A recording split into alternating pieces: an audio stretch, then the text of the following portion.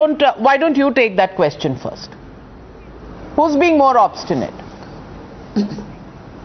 Well, I think uh, yeah, Navika, I think uh, I don't want to choose one side or the other. It's very unfortunate that both houses of parliament have not transacted any business for days on end, and all we've seen is unruly scenes and suspensions.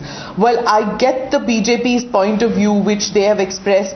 You heard uh, Piyush Goyal also in that soundbite saying that the finance minister has COVID, and therefore, uh, in a way, they're shortchanged when it comes to debating the issue of price rise, which the opposition is demanding. Uh, but I also find it odd that the BJP cannot debate it on account of one cabinet minister being unwell.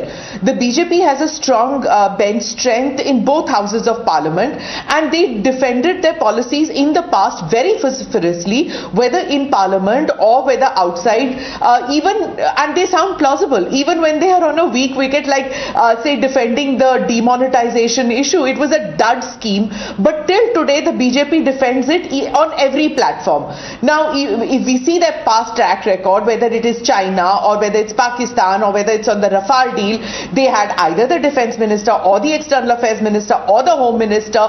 It's a collective responsibility and the BJP rises at, at one voice in both houses of parliament. So I'm a bit flummoxed as to why this time the BJP is giving the impression that it's a shrinking violet. The optics are not looking good for the BJP right now. I might just say this because, you know, while we don't don't like the opposition standing on benches, tearing up paper and uh, getting suspended for holding placards and all. It's very disappointing to see that. But it's equally disappointing to see that the BJP is not putting up a spirited defense.